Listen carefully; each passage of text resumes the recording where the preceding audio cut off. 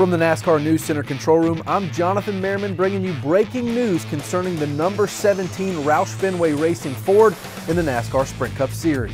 NASCAR announced Wednesday that the crew chief for Ricky Stenhouse Jr., Nick Sandler, received a P3 penalty after opening day inspection at Richmond International Raceway revealed an issue with their power steering pressure pump. Sandler has been fined $20,000, suspended from all NASCAR Series championship points events through May 4th, and placed on probation until December 31st. For more as this story develops heading into the weekend at Talladega Superspeedway, make sure you log on to NASCAR.com.